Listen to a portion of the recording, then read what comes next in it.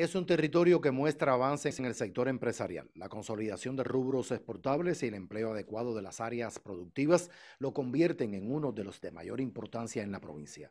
El café, con un amplio programa de desarrollo hasta el 2030, ejecuta cambios para recuperar las áreas y elevar los rendimientos.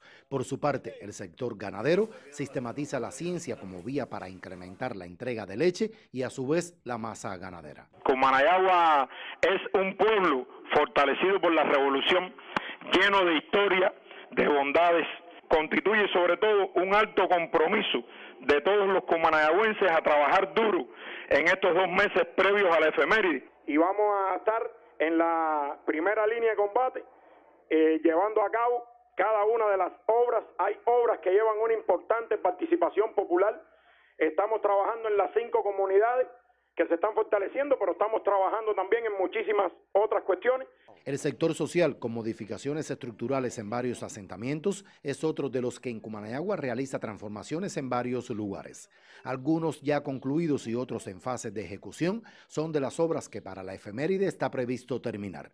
Restan 56 días para la celebración del aniversario 69 del asalto al cuartel Moncada y Carlos Manuel de Céspedes, motivo para que los cumanayagüenses trabajen en más de 20 obras que ejecutan en el municipio.